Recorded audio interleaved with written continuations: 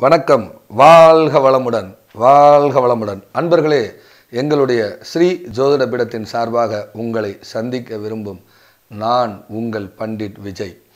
நிறைய ஜோதிட சார்ந்த சித்தாந்தங்களை நம்மளுடைய யூடியூப் சேனலில் பதிவிட்டு வந்து கொண்டு இருக்கிறேன் இன்றைக்கி நிறைய பேருக்கு அந்த அக்ரி லேண்டில் ஏற்கனவே மழை இல்லை.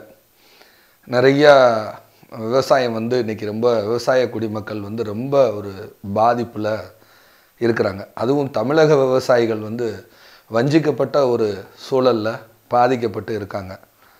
அப்போ ஒரு ஹாரோஸ்கோப்பில் வந்து ஒரு ஜாதகம் பார்த்து எங்கன்னு கேட்டிங்கன்னா நம்ம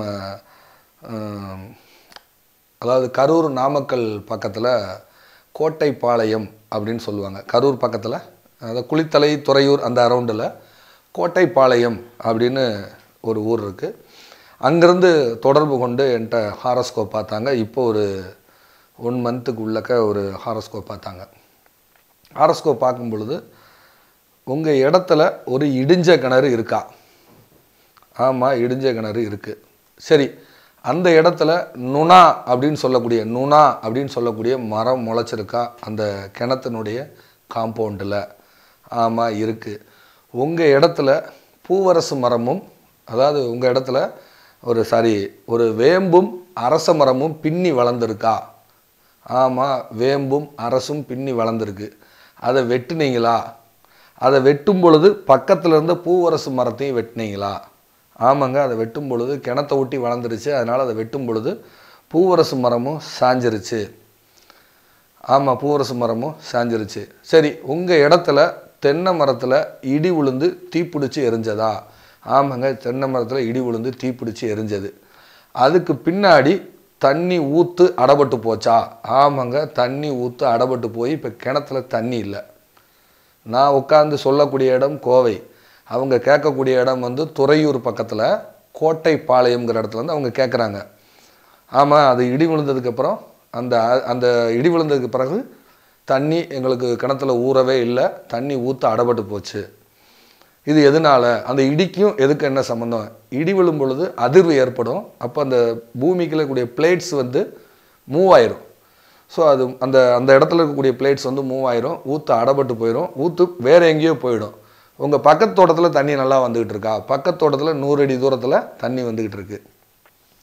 ஸோ முதல்ல என்ன பண்ணுங்கள் அப்படின்னா நுணா ஒரு விவசாய பூமியில் நுணா வந்துருச்சுன்னா கண்டிப்பாக நுணாங்கிறது தென் மாவட்டத்தில் மஞ்சனத்தி மரம்னு சொல்லுவாங்க. அது வந்துருச்சுன்னா தண்ணி இல்லாமல் போயிடும். தண்ணி குறையும். அதுக்கப்புறம் அந்த இடி ஏதேனும் விழுந்தால் அந்த கிணறுல இருக்கக்கூடிய ஊத்துகள் வந்து அதிர்வில் அடபட்டு போயிடும் சரி இப்போ ஏதாவது ஒரு சைடு போர் போடுறதுக்கு ஏற்பாடு பண்ணிகிட்டு இருக்கீங்களா ஆமாங்க ஐயா சைடு போர் போடுறதுக்கு ஏற்பாடு பண்ணிகிட்ருக்கோம் சைடு போர் போட்டால் தண்ணி வருமா?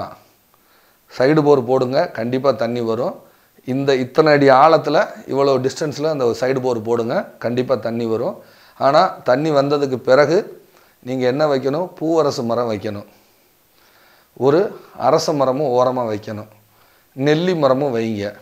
உங்கள் இடத்துல வற்றாத தண்ணி இருக்குது ஸோ எல்லா ராசி மண்டலத்துக்குள்ளேயும் தண்ணி இருக்குது பன்னெண்டு ராசிகளுக்குள்ளேயும் தண்ணி இருக்குது வறண்ட நிலம்னு சொல்லக்கூடிய பாலைவனத்தில் இருக்கக்கூடிய சோலைன்னு கேள்விப்பட்டிருக்கோம். பாலைவன சோலைன்னே கேள்விப்பட்டிருக்கோம். அதே மாதிரி எல்லா பூமியிலையும் தண்ணி இருக்குது ஸோ அந்த இத்தனை அடியில் இத்தனை ஆழத்தில் அதை போடுங்கன்னு சொல்லி அவங்களுக்கு இங்கே உட்காந்துக்கிட்டே நான் இருப்பது கோவையில் அவங்க இருக்கிறது துறையூர் பக்கத்தில் கோட்டைப்பாளையம். இதை சொல்லி அவங்க அதை அதுக்கான ப்ராசஸிங் பண்ணிக்கிட்டு இருக்காங்க.